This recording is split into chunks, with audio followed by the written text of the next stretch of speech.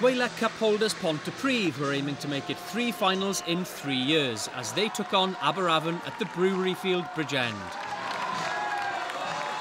Despite losing to the Wizards 29-27 back in March, Ponty got off to a flying start, with captain and centre Dav Lockyer providing a perfectly timed pass to lock Chris Dicomidis, who showed a clean pair of heels to cross for Ponty's first try.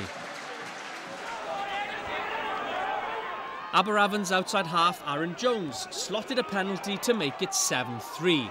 But then Ponty were handed another opportunity to extend their lead when the Wizards were penalised at the breakdown by referee Rhys Thomas. Fly half Lewis Williams kept a cool head and landed the kick to make it 10-3 to Pontypridd.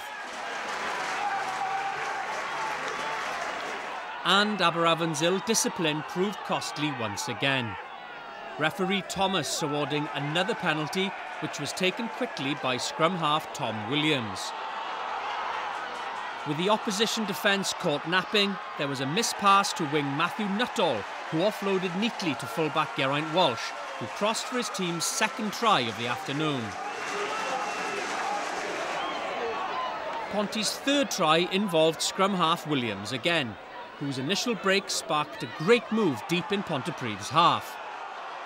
Forwards and backs combined, with flanker Rhys Shellard throwing a speculative pass to Nuttall, who raced over in the corner. Despite calls for a forward pass from Aberavon, referee Thomas consulted with his touch judge and awarded the try.